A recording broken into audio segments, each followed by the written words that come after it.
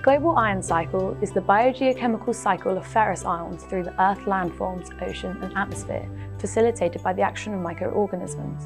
In the ocean, upwellings cause water rich in iron and other minerals to come to the surface. On land, weathering makes iron available to be transported to marine environments. In terrestrial ecosystems, ferric oxide is present in soil and is an important source of iron for plants. Iron is then recycled through the decomposition of plant matter. In nature, iron is an important prosthetic group for many enzymes. It has a role in DNA synthesis, respiration and photosynthesis. Iron groups are present in nitrogenases, which are important for nitrogen fixation.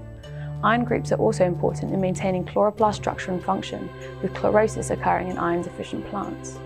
This makes iron a critical nutrient for photosynthetic organisms, including phytoplankton and algae, which are responsible for over 50% of all photosynthetic activity on the planet. In recent times, this cycle has been disrupted by the action of humans. It is predicted that global warming will decrease iron bioavailability. It is thought that initially high rates of iron release will occur, due to an increase in iceberg scour in the cryosphere, the frozen portion of the Earth's surface.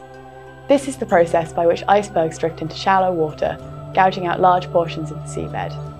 However, long-term global warming will lead to glacial retreat, decreasing the erosive action of glaciers and causing a considerable decrease in iron availability.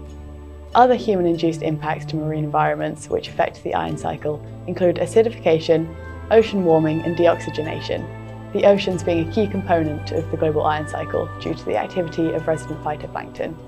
These changes to the normal function of the iron cycle will surely have profound ecological consequences. Iron limitation constrains the productivity of phytoplankton because of the vital role it plays in the synthesis of chlorophyll and other proteins necessary for photosynthesis. Because phytoplankton fix carbon dioxide during photosynthesis, disruption to this process will impact the carbon cycle and also the overall productivity of ocean ecosystems, which comprise the majority of Earth's biosphere. Environments like the Southern Ocean contain phytoplankton which are strongly limited by the availability of iron, along with bacteria which are also important in carbon fixation that suffer the same constraint. Marine mammals like whales produce fecal matter that is rich in iron, giving these animals a role in recycling iron and other such material into these ecosystems, allowing both phyto and zooplankton blooms to flourish in these harsh environments. The effect of human hunting endangers these animals, and this decline could interfere with the biological redistribution and recycling of iron.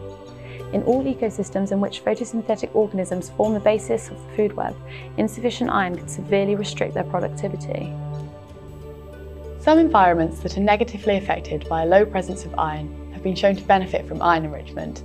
In experiments, the growth of mangroves was enhanced by artificial increases in the iron supply, but alarmingly, some mangrove species showed iron toxicity at high supply rates, providing a stark warning against over-fertilisation. Artificial enrichment of the oceans with iron has been proposed as a form of carbon sequestering.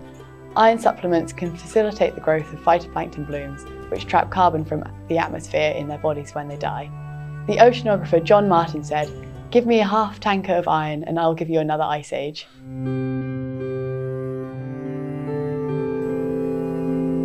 Experiments have proven that the enrichment of areas of ocean with iron solutions can propagate algal blooms. However, there are problems with this as a strategy to rebalance the iron cycle and promote the drawdown of carbon dioxide as a way to combat the greenhouse effect.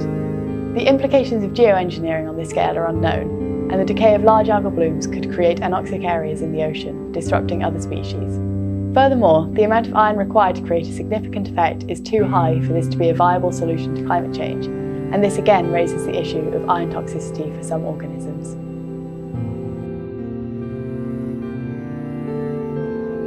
Without change, the destabilisation of the iron cycle is only likely to get worse in the future, with ever increasing levels of human interference. The disruption of the iron cycle will cripple the ecosystems we rely on for the food we eat and the air we breathe, and this will certainly have grave consequences for humanity.